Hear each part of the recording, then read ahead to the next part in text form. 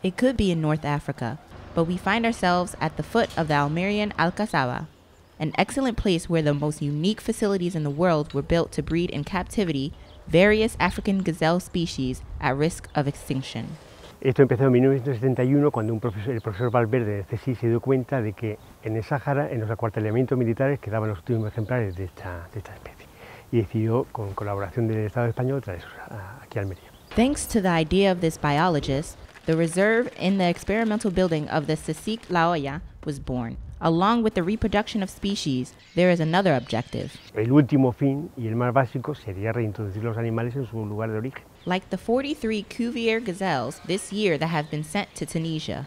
Pretendemos mantener la eh, cría controlada al menos durante dos primaveras, o sea, durante dos épocas reproductoras, para a partir de entonces hacer primero una presuelta en una zona que hay eh, perimetrada del parque de unas 100 hectáreas y luego suelta libertad. In 2003, they started an artificial reproduction program, giving rise in 2005 to a historical fact. nacimiento en cautividad de la primera gacela inseminada con semen congelado The success of this animal reserve is clearly shown through their numbers. Of the 14 Damas gazelle specimens that arrived more than 40 years ago, today they counted 2,106 births, the majority of which were produced in Almeria and in the European and American zoos that participated in the project.